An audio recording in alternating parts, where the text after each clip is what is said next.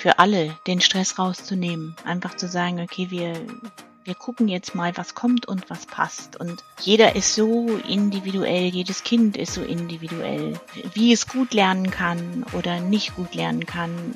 Ob meine Tochter da jetzt noch irgendwie ein Video nebendran laufen hat beim Lernen oder so, das, für sie muss das passen und nicht für mich. Und das ist auch dieses ähm, auf die Kinder gucken und aufs Bauchgefühl und denen den Raum lassen. Und dann läuft das irgendwie schon.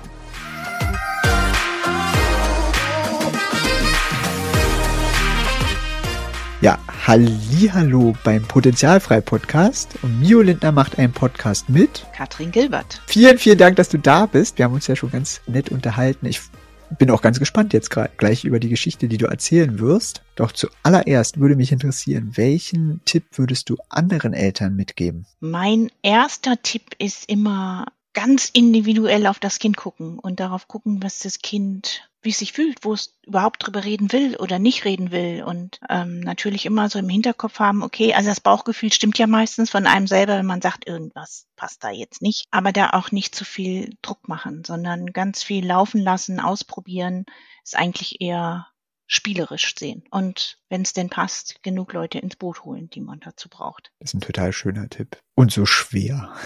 Ähm, wie ist es denn bei euch losgegangen? Wann ist denn aufgefallen, dass dann bei deinem Töchterchen das etwas anders läuft als bei anderen Kindern? Aufgefallen ist es im Laufe der ersten Klasse, als sie dann, also sie ist auf eine Schule gegangen, wo man ziemlich viel Freiarbeit machen durfte.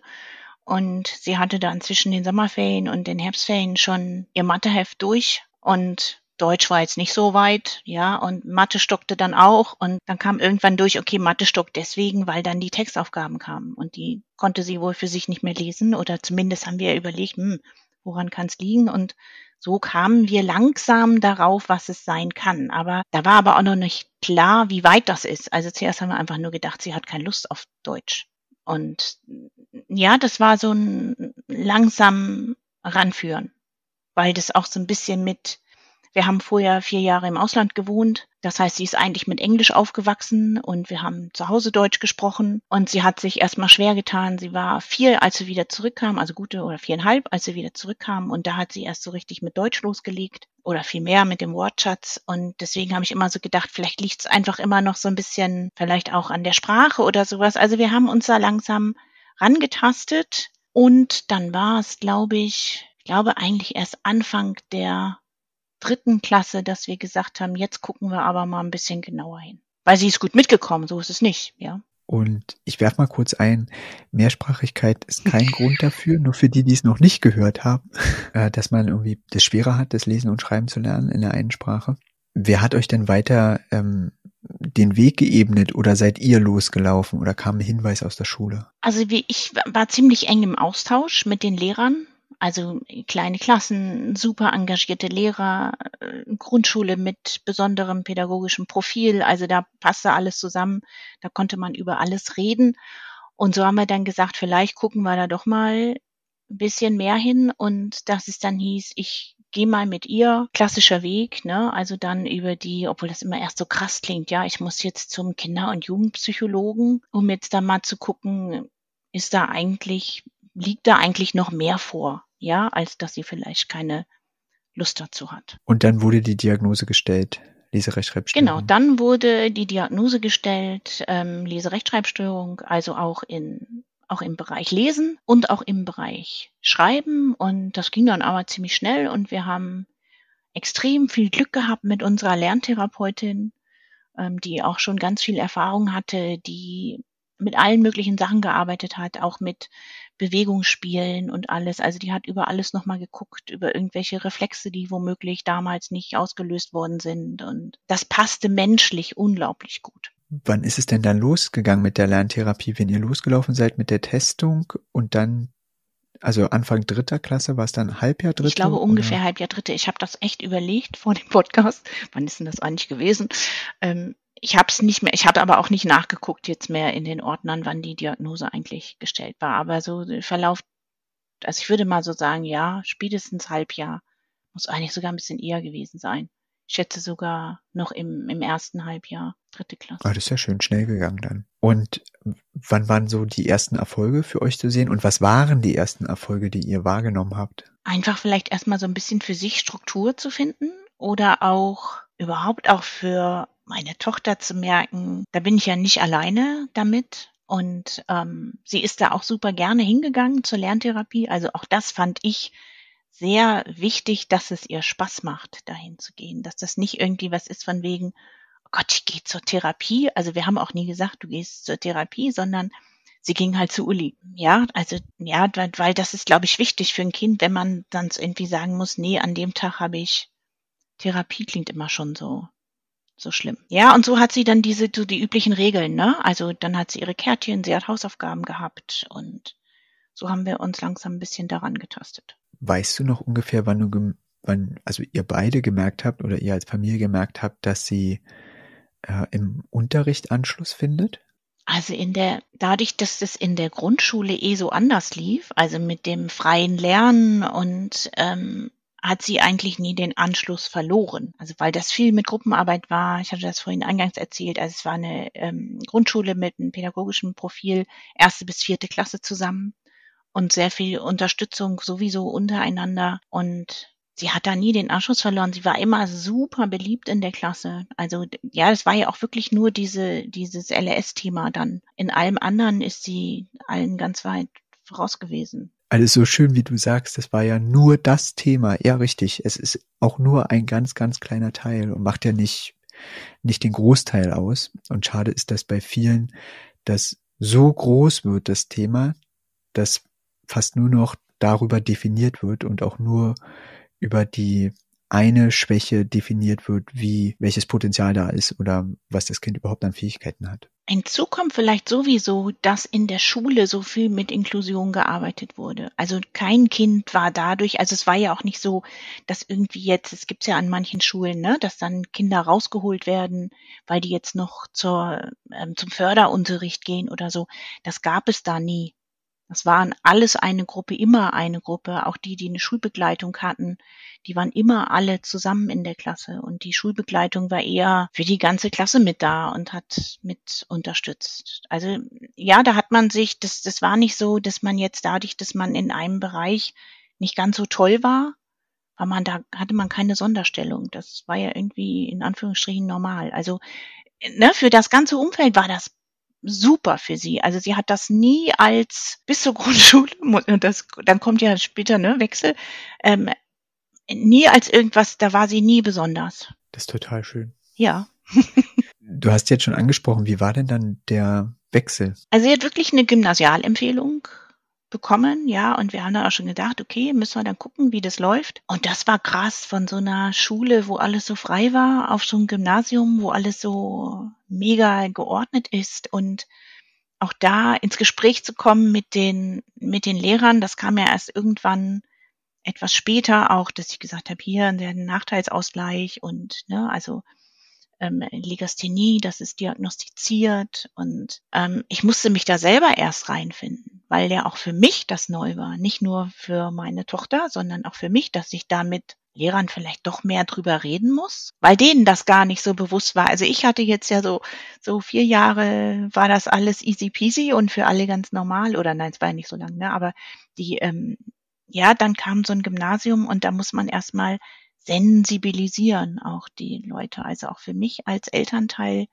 nochmal anders auch mit den Lehrern umgehen, weil für die das nicht selbstverständlich war und die dann gesagt haben, ja, und dann müsste sie ja jetzt in, ähm, in diesen Förderunterricht, bis ich dann geklärt habe, nee, sie kriegt ja Lerntherapie, dann braucht sie auch nicht in den Förderunterricht. Und der Förderunterricht bestand eh daraus, dass irgendein Schüler aus der, keine Ahnung welcher Klasse, der als Strafarbeit sozusagen den Förderunterricht machen musste, weil er irgendwo, ja, haben die ja auch schon keinen Bock da drauf. Also, ähm, wo sie auch gesagt hat, sie ist da, glaube ich, einmal hingegangen, hat sie gesagt, ich weiß nicht, was ich da soll. Und hat sie sonst den Wechsel gut verkraftet, auch mit dem, mit der unterschiedlichen Herangehensweise? Ja, das ging eigentlich ganz gut. Auch da war es, also sie hat sich das Gymnasium ausgesucht. Ähm, das Wichtigste für sie war, dass sie mit ihrer besten Freundin zusammen in eine Klasse kommt und Die beiden haben sich auch das gleiche Gymnasium zum Glück an erster Stelle gewählt und ja, auch deswegen war das dann leichter für sie, weil das Umfeld für sie passte und die beiden sich schon so lange kannten. Ich habe da, ich habe da irgendwann mit ihr drüber geredet, weil ich auch gesagt habe, du weißt du, damals bei meinen Eltern, meine Eltern haben für mich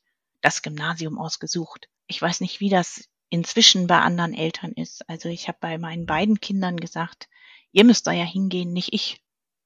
Ja, auch wenn ich da gesagt habe, du musst aber dafür weiterfahren und ne, aber ähm, mir ist immer wichtig, dass die happy sind, da wo sie sind. Nicht, dass ich happy bin, weil sie da sind. Ja, ist total schöner Ansatz, einfach gleich mit, mit den Kindern und Jugendlichen, damit sie eben mit in der Entscheidung mit drinne sind und wissen, dass sie, dass nicht über sie etwas für sie entschieden wird, sondern dass sie einfach mit äh, teilhaben daran und sich dann auch mehr damit auseinandersetzen. Was heißt das eigentlich jetzt? Ja, denn das ist schon ein anspruchsvolles Gymnasium, was sie sich damit ausgesucht hat, ja, und dass man dann auch sagen kann, wolltest auch dahin und aber sie hat das, nee, das, das ging so ganz gut, ja. Und hat das, warst du erfolgreich mit dem Sensibilisieren? Fünfte, sechste Jahr, eine ganz tolle Deutschlehrerin, noch sehr jung, sehr engagiert. Und dann immer so jedes Mal, wenn dann irgendwie so ein, so ein Klassen, also so ein Klassenlehrerwechsel auch kam, ja, also es ist ja so der erste Ansatzpunkt ist ja immer erstmal Klassenlehrer und das war sehr unterschiedlich. Auch dieses, dass ich gesagt habe, und ich bitte Sie, dass Sie das auch weitertragen an die Fachlehrer.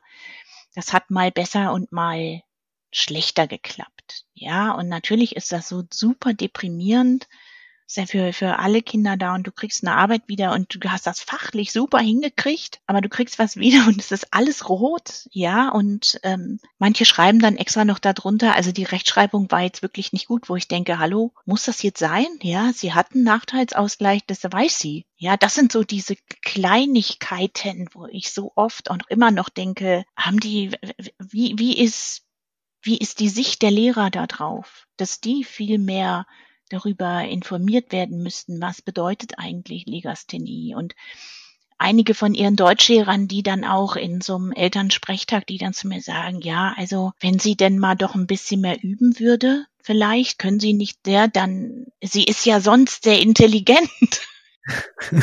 ja, aber ich immer denke, oh, muss ich das jetzt wirklich erklären, nochmal, was Legasthenie ist und dass man den Fehler oder dass man einmal oder zehnmal ein Wort richtig schreiben kann und beim elften Mal ist der Fehler wieder drin oder andersrum. Und das hat sich schon alles viel verbessert. Es gibt ja auch ganz viele diese üblichen Wörter, die sie dann alle richtig schreiben, manchmal auch mega Fremdwörter, ja, die auf Anhieb immer sitzen, aber dass viele nicht verstehen, dass auch wenn ich zehn Minuten länger schreibe, dass ich deswegen nicht in den zehn Minuten das wettmachen kann, was ich vorher falsch geschrieben habe. Das finde ich ein bisschen, ich weiß nicht, ob deprimierend jetzt das richtige Wort dafür ist, aber ich denke, ich wünsche mir da mehr Empathie von den Lehrkräften. Ja, erlebe ich ja auch, dass also ganz viel Wissen noch fehlt und ich auch teilweise erstaunt bin. Also wie viel Wissen fehlt und auf welcher Stufe wir Lehrkräfte abholen und erklären, was bedeutet das.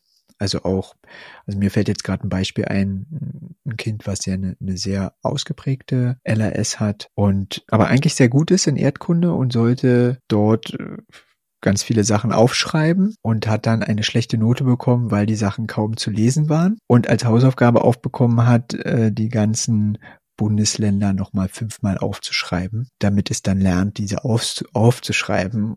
Und da ist halt wichtig. Man muss die die Fachlehrkräfte mit reinnehmen, damit sie auch verstehen, was heißt das. Und da wurde aber dann auch nicht mündlich abgefragt. Und das wäre ja so einfach, also weil es war alles gelernt und es war auch alles im Kopf, aber eben das mit dem Aufschreiben hat nicht so geklappt, obwohl man erkannt hat, welches Bundesland gemeint war und es war alles richtig. Dann gab es weniger Punkte wegen der vielen Rechtschreibfehler da drin. Also das ist auch dieses, was er jetzt in, inzwischen ist sie in der zwölften Klasse und es ist auch sehr interessant, dass sie sich eigentlich jetzt zum Ende hin immer mehr steigert. Jetzt, ich habe ja auch mal gesagt, okay, es interessiert keinen vorher, was du für Noten schreibst. Jetzt weiß sie, dass es ja richtig wichtig ist, weil jeder Punkt zählt fürs Abi, ähm, dass, dass die Lehrer sich so unsicher sind. Was darf ich oder was darf ich nicht?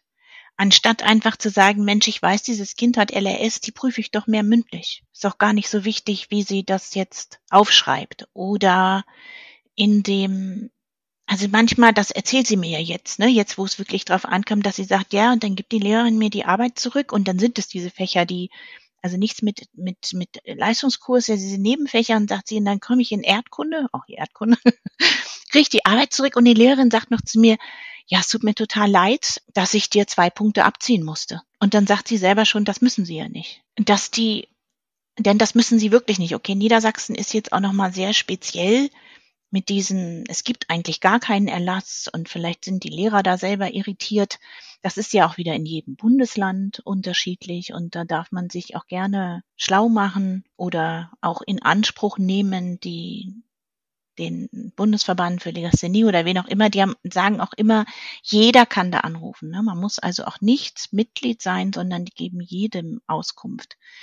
Und da fehlt es auch für die Lehrer, dass die wissen, wo kann ich denn dem Kind sowieso entgegenkommen. Es ist ganz viel Unsicherheit und ähm, bei einigen Sachen auch, weil die Formulierungen auch nicht ganz haarscharf sind, so dass sie einfach zu verstehen sind und dann ähm, dadurch entsteht viel Unsicherheit auch bei den Lehrkräften. Aber da auch, äh, man könnte, also auch als Lehrkraft darf man anrufen beim BVL und sich erkundigen nicht nur als Elternteil, äh, um einfach zu gucken und selber eine Sicherheit zu bekommen und zu wissen, okay, ich bewege mich da in einem richtigen Rahmen und das liegt in meiner Hand und ich kann das machen. Ist es sowieso ein Tipp? Wäre das ein Tipp von dir, dass ähm, Eltern sich an den BVL wenden? Oder gibt es irgendwas anderes, wo du sagen würdest, das würdest du noch Eltern raten? Mm, natürlich kann man sich auch an den BVL wenden, aber das habe ich jetzt erst wirklich wo es jetzt zum Abitur hinging. Also ich habe immer versucht, mit den einfach mit den Lehrern im Austausch zu bleiben und auch zu erzählen und auch den mal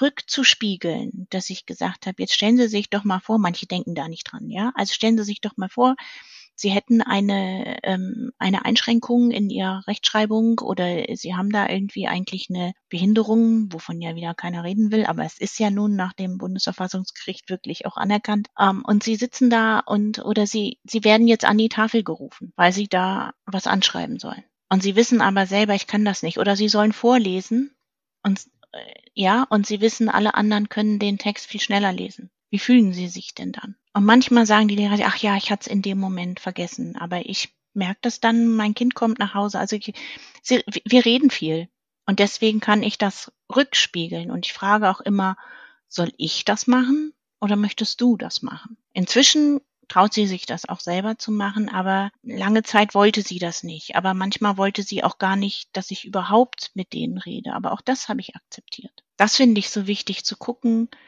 was möchte mein Kind, was braucht mein Kind, auch dieses, wenn ich jetzt, ich bin dann auch zu Vorträgen gegangen vom, ähm, vom Legasthenie-Verband und habe gesagt, Mensch, guck mal, und es gibt ja hier so tolle Tools, die du vielleicht benutzen könntest. Und dann hat sie aber gesagt, nee, Mama, das bringt mir nichts. Also zum Beispiel dieses, ne, dass man sich Dinge anhören könnte, dass ich sage, ich kann ja mit den Lehrern sprechen, wenn da lange Texte sind. Vielleicht darfst du dir das anhören. Und dann sagt sie, das würde mich wahnsinnig machen in der Arbeit. Das kann ich nicht. Ja, also dann bin ich lieber langsam im Lesen. Ja, deswegen habe ich aber dann wenigstens jetzt auch gerade in der Oberstufe, also sie hat Deutsch-Leistungskurs, ne? Also, ja. Dass ich aber auch mit dem, das ist auch ihr, ihr Tutor, und dem habe ich auch gesagt, wissen Sie, für, für jemanden, der LRS hat, ist es zum Beispiel auch, wenn Sie jetzt so, weil die dann Gedichte hatten und von irgendwelchen, ne, habe ich gesagt habe, schon allein, wenn Sie das in einer anderen Schrift da haben. So eine alte Schrift ist für LRS-Leute ganz schwierig. Noch schwieriger als das normal zu lesen, auch wenn das so wechselt dazwischen drin. Das sind ja Dinge, die man so gar nicht wissen kann. Aber ich habe mich jetzt damit beschäftigt und habe ihm das auch erzählt und da sagt er auch, Mensch, das ist interessant, ja, dass man dann darüber auch, dass man denkt, okay, vielleicht kann ich es anders machen ich kann den Text ja auch nochmal abtippen. Ist ja eigentlich nicht wichtig, dass das in der alten Schrift ist. Also auch da einfach im Gespräch bleiben und darauf horchen, was passt in dem Moment jetzt für mein Kind und es kann sich auch verändern. Das finde ich einen ganz schönen Hinweis, dass es einfach, dass man wirklich mit dem, mit dem eigenen Kind zusammen guckt, ist es gerade die Technik, die wirklich funktioniert, weil es gibt ganz viele unterschiedliche Techniken, die man anwenden kann und nicht jede passt für jede Person, sondern es muss man einfach rausfinden und dann eben auch auf das Kind hören. Wenn es sagt, nein, das Auditive hilft mir nicht, dann nicht. Also schon wichtig. Ähm, fällt dir denn so rückblickend eine Person ein, die dich besonders unterstützt hat und dir besonders weitergeholfen hat? Bei mir ist es viel ihre Lerntherapeutin selber gewesen, die also in so viele Richtungen geguckt hat und ähm, weil sie dann, also wir haben auch alle Verlängerungen bekommen, die, die man irgendwie bekommen konnte. Die hat sich da auch sehr engagiert und wenn man dann da so jede Woche ist und wir auch sonst geredet haben, also es war dann schon fast freundschaftlich, so dieses über, das ging ja irgendwie doch mehrere Jahre dann, ne? also dass man sich gesehen hat. Und da habe ich unglaublich viel gelernt. Auch, dass sie sagte, guck doch mal beim Legasthenie-Verband und kannst dieses schon mal probieren und jenes probieren und auch ganz tolle Spiele, die sie mir mitgegeben hat, die wir auch hier weitergemacht haben. Also das, das hat mich sehr geprägt und geholfen. Und noch dazu vielleicht auch, dass ich, ähm, und das habe ich auch, weiß auch mein, meine Tochter so, dass ich, ähm, ein, ein guter Freund von mir, der hat auch LRS, mit dem habe ich studiert. Und da habe ich dann auch mal gesagt, oh ey, das ist ja manchmal ganz schön katastrophal, was du dir hier so zurechtschreibst. Ne? Und dann hat er damals schon immer gesagt, weißt du was, später werde ich irgendwann Manager sein und dann habe ich eine Assistentin und die schreibt das eh für mich, dann interessiert das niemanden mehr. Und ähm, also und das hat auch auch meine Tochter mitgeprägt, ja, auch wenn ähm, sie hat das manchmal dann auch gemerkt, wie wie er schreibt, hat sich manchmal selber gesagt, guck mal, da sind ganz viele Rechtschreibfehler drin. Sie hat die dann gesehen, aber ja, er ist inzwischen in einer sehr hochrangigen Position, ja, und das ist auch eine Bestärkung auch für sie selber. Sie kennt jemanden, der für sie manchmal ja schlechter schreibt als sie selber, der aber ja einen super Job hat. Und das hilft jemanden auch zu kennen, wo man weiß, Mensch, der hat es trotz dessen richtig zu was gebracht. Ja, sich äh, hat sich nicht einschränken lassen dadurch oder von außen. Das äh, häufig erlebe ich, dass von außen eingeschränkt wird. So, naja, das wirst du ja nicht schaffen. Und dass, wenn das nicht kommt und äh, man sich entfalten kann, dann erreicht man ganz viel. Wo steht ihr denn heute? Naja, guck mal, jetzt ist sie zwölfte Klasse. Ja, ihr Traum ist es, zumindest momentan, sie möchte Psychologie studieren. Ist an sich ein NC-Studium, ja, wo sie auch schon gesagt hat, werde ich wahrscheinlich nicht schaffen. Also haben wir gesagt, okay, was haben wir denn sonst für Möglichkeiten? Ja, und ob sie jetzt dann im Ausland studieren kann oder so oder wie auch immer wir das hinkriegen, aber wir schauen dann eben, wie das funktioniert. Ja, und sie ist an sich auch schon selbstbewusster da geworden. Also habe ich ja erzählt, jetzt manchmal regelt sie das selber, dass ich auch frage, soll ich, willst du? Und dann sagt sie, nee, ich, ich mach das mal selber und wenn ich es nicht, ja, dann kannst du ja nochmal. Ne? Also so diese anderen Sachen jetzt hier, da gucken wir, was jetzt vielleicht auch noch ganz spannend ist, denn das, ähm, das hatte ich wieder vom Legasthemieverband, die mir gesagt haben, dann wenn es an die Uni geht, und sehr viele Menschen mit LRS studieren ja auch, Manchmal wollen die Unis nochmal ein neues, ähm, eine neue Diagnose haben. Und ähm, jetzt hatten die mir vom, vom Legasthenie-Verband gesagt, okay, dann brauchen wir eine neue Testung und möglichst noch, da hatten sie mir gesagt, unter 18 ist aber nicht ganz stimmig. Es ist wohl so, dass du in dieser Praxis bis 21 kannst du dich testen lassen. Also nochmal eine neue Diagnose, weil die Unis das frische haben wollen, nicht aus der dritten Klasse oder so, ja. Ähm, aber dann kann das eben auch im Studium noch weiter angewandt werden. Und sie freut sich drauf. Ich sage immer, du kannst alles machen, was du willst. Also es liegt wahrscheinlich auch daran, ich mache keinen Druck. Es ist ja auch mit ihr Leben. Wir unterstützen uns hier gegenseitig sozusagen. Ja, und nee, also ich meine, wenn man auch mit einer LRS ein Deutsch-LK wählt, traut man sich das ja dann auch einiges. Ne? Ist auf alle Fälle Selbstbewusstsein da. Und wenn du jetzt so in die Zukunft blickst, was ist da so deine Einschätzung? Ach, das wird sie ganz gut hinkriegen. Also sie ist mega gestresst, das muss ich sagen. Es stresst sie unglaublich, ne? Also auch gerade mit diesem, dass sie dann sagt, und hoffentlich ziehen die mir im Abitur nicht trotzdem dann noch Punkte ab, ja? Oder bei manchen Lehrern sagt sie, nee, da wahrscheinlich nicht, aber dort vielleicht und zählt ja alles. Und was ihr jetzt auch geholfen hat, ist, dass sie seit, ich weiß gar nicht, seit jetzt knapp zwei Jahren oder so, dass sie auch mit dem Tablet arbeitet. Und das vereinfacht es für sie sehr, dass sie nicht mehr alles so selber schreiben muss. Ähm, welches Lebensmotto begleitet dich denn oder welche Aussage hilft dir? Also ich habe ja so ein, so ein Motto sonst, das bei mir drin steht, das heißt, ähm, Veränderung kann schnell und leicht sein. Und ansonsten bin ich einfach grundlegend ein sehr optimistischer Mensch und das verbreite ich auch möglichst in meinem Umfeld. Merkt man. Äh, gibt es irgendwas, was du anderen Eltern gerne mitgeben würdest auf dem Weg? Ja, sich möglichst, also oder für alle, den Stress rauszunehmen. Einfach zu sagen, okay, wir, wir gucken jetzt mal, was kommt und was passt. Und jeder ist so individuell, jedes Kind ist so individuell, wie es gut lernen kann oder nicht gut lernen kann. Ob meine Tochter da jetzt noch irgendwie ein Video nebendran laufen hat beim Lernen oder so, das, für sie muss das passen und nicht für mich. Und das ist auch dieses ähm, auf die Kinder gucken und aufs Bauchgefühl und denen den Raum lassen. Und dann läuft das irgendwie schon. Dann vielen, vielen Dank für unser Gespräch. War sehr schön, dass du da warst. Ich danke dir für die Einladung. Danke. Danke, dass du dieser Folge deine Zeit geschenkt hast. Ich bin dankbar für jeden Menschen, der zuhört. Sind bei dir vielleicht Fragen entstanden? Hast du Anregungen oder Kritik? Hast du selber was zu erzählen? Melde dich jederzeit unter podcast.mio-lindner.com bei mir oder schick mir eine DM auf Instagram unter mio.lindner. Ich freue mich von dir zu hören. Gern kannst du auch natürlich direkt einen Kommentar unter der Folge hinterlassen. Schön, dass sich unsere Wege gekreuzt haben. Ich freue mich auf das nächste Mal. Es ist fantastisch, dass es dich gibt.